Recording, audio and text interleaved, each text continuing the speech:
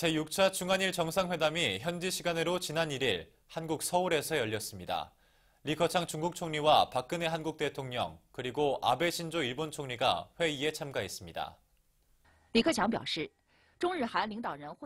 리 총리는 중한일 정상회담이 3년 만에 재개되기까지 결코 쉽지 않았다면서 현 시점에 3국은 협력 강화를 통해 자국 경제를 업그레이드시켜 동아시아는 물론 전반 아시아 경제의 안정적인 성장을 이끌어 나가야 한다고 말했습니다.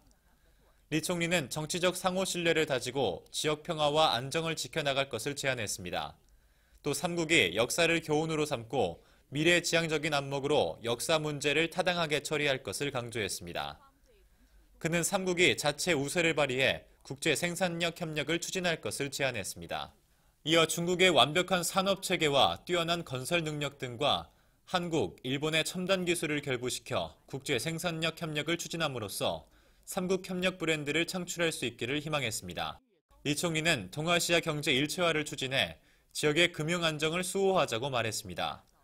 이어 중한일 자유무역구 협상을 추진하고 중한 양자 자유무역 협정이 조속히 발효되도록 노력할 것을 강조했습니다.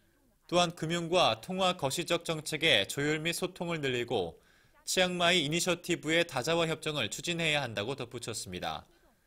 이 총리는 구조적 개혁을 공동으로 추진하고 혁신 분야에서의 협력을 늘리자고 제안했습니다. 3개국은 모바일 인터넷, 클라우드 컴퓨팅, 스마트 도시, 빅데이터 등 분야에서의 공동 연구개발 협력을 확대해야 한다고 역설했습니다.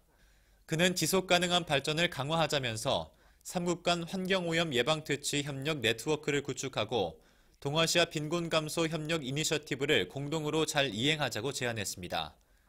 이 총리는 사회 인문 교류를 추진하고 동아시아 공동체 의식을 증강해야 한다고 강조했습니다. 문화 전통이 비슷한 3국이 인적 왕래를 한층 늘리고 올림픽 경제 협력을 확대하는 한편 국민 간의 우위를 증진시킬 것을 제안했습니다. 동북아 지역 정세에 대해 리 총리는 동북아의 평화와 안정이 여러 나라의 공동이익에 부합된다면서 중국은 평화 발전의 길을 확고하게 견제할 것이라고 약속했습니다. 또 평화만이 바른 길이기 때문에 역사를 정시해야 미래를 지향할 수 있다면서 일본이 자국 국민의 염원과 아시아 각국의 공동한 목소리에 따라 평화 발전의 길을 걸을 것을 희망했습니다. 박근혜 대통령은 3년 만에 재개된 한중일 정상회담이 큰 의미가 있다면서 3국 협력은 자국 국민의 이익은 물론 동북아 지역의 안정과 번영에도 이롭다고 말했습니다.